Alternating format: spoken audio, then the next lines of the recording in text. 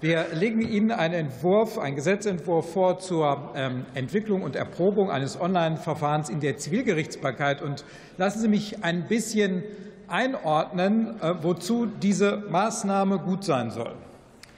Wenn wir uns über die Justiz in Deutschland unterhalten, dann wird meistens folgendes Bild gezeichnet. Die Justiz wird von riesigen Klagewellen quasi überflutet. Und eine viel zu kleine Zahl an Richtern weiß gar nicht mehr, wie sie mit dieser Flut klarkommt. Und deshalb dauert alles lange und es sei alles zäh. Die empirische Wirklichkeit ist eine andere. Seit etwa 20 Jahren sind die Eingangszahlen in der Zivilgerichtsbarkeit rückläufig um bis zu 40 Prozent. Das heißt nicht, dass es an einzelnen Gerichtsstandorten, insbesondere dort, wo es zu Sammelklagen kommt, erhebliche Belastungen gibt. Aber die Zahl der äh, Fälle in der ersten Instanz ist stark rückläufig.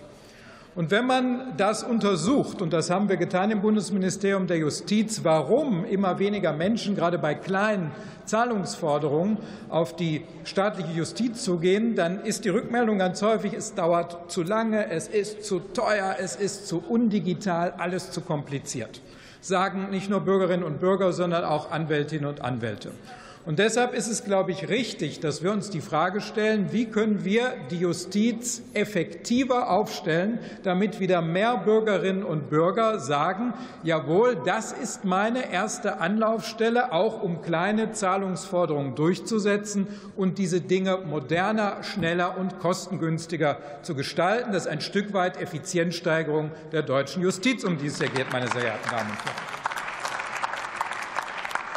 Wie wollen wir das nun möglich machen? Wir wollen an bestimmten Amtsgerichten die Erprobung eines solchen Online-Verfahrens möglich machen. Da soll es insbesondere um Zahlungsforderungen gehen. Und ich glaube, das ist ein richtiger Weg, weil früher hat man immer so gedacht, man muss sich irgendwie das perfekte System überlegen. Das entwickelt man dann über viele Jahre, das zieht man dann über das ganze Land. Und wenn es dann in der Praxis ankommt, stellt man fest, in der ganzen Theorie hat man an der Praxis vorbei entwickelt. Deshalb ist es, glaube ich, gut, dass jetzt der Gedanke des Reallabors, nämlich einfach mal an bestimmten Gerichten das auszuprobieren und zu schauen, was funktioniert davon und was kann man in der Erprobung lernen, um dann im nächsten Schritt die Sache noch besser zu machen, genau der richtige Weg. Das würde man woanders Agilität nennen. Und ich glaube, das ist auch bei der Entwicklung digitaler Tools in der Justiz genau der richtige Weg, meine sehr geehrten Damen und Herren. Diese Maßnahme reiht sich ein in einen Strauß anderer Maßnahmen. Denken Sie beispielsweise an die Digitalisierungsinitiative in der Justiz, wo wir ja auch eine ganze Reihe von äh, zusätzlichen digitalen Tools finanzieren, mit den Bundesländern gemeinsam Techniken entwickeln, um die Arbeit in der Justiz effizienter zu gestalten. Und das ist, glaube ich, viel mehr als auch nur Geschwindigkeit aufzunehmen, meine Damen und Herren. Ich muss nämlich noch eine Wahrheit hier sagen, die mir ganz wichtig ist. Manchmal hört man ja, die Antwort auf alle Fragen in der Justiz ist mehr Personal. Das ist aber in Zeiten des Fach- und Arbeitskräftemangels eine Strategie, die nicht aufgehen wird. Schon heute werden die Planstellen, die heute existieren, nur schwer besetzt.